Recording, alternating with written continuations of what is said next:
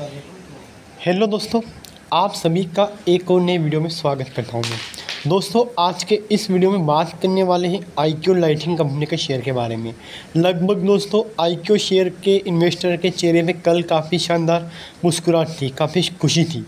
अब खुशी क्यों थी? क्योंकि दोस्तों, कल आपको सिर्फ़ और सिर्फ़ एक दिन में लगभग बीस पच्चीस रुपए के आसपास का एक दिन में उछाल देखने को मिला है यहाँ पे। मतलब दोस्तों, कल का दिन काफ़ी शानदार था, लेकिन अब सवाल आ रहा है यहाँ पे कि आगे क्या होने वाला है।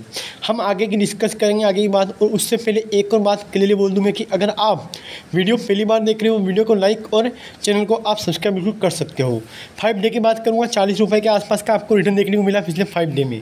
और अगर मैं एक मंथ की बात करूँगा, एक मंथ अट्ठाईस रुपये के आसपास का, लेकिन फाइव डे में एक बात समझ में नहीं आई आपकी, आ गई होगी कि अगर मैं पूरे डे बाई डे से बात करूँ लगभग फोर्टी वन रुपीज़ के आसपास का आपको उछाल देखने को मिला है। सिक्स मंथ की बात करूँगा माइनस पच्चीस रुपये लेकिन सिक्स मंथ में आंकड़े बदल गए हैं, क्योंकि ऑलरेडी स्टॉक का हाई था चार सौ सत्तर, चार सौ अस्सी के बीच का।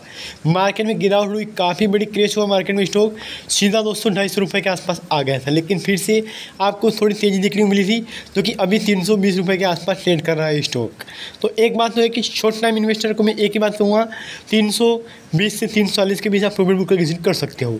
अगर लॉन्ग टर्म की बात करें, हम लंबे समय वाले इन्वेस्टर के लिए एक साल, दो साल के लिए तो उनको होल्ड करने की सलाह है यहाँ पे। एक साल, दो साल के लिए होल्ड करो, आपको काफ़ी शानदार रिटर्न देखने को मिलेगा। अभी के लिए इतना ही, मिलते हैं दूसरी वीडियो में संस्था के लिए धन्यवाद।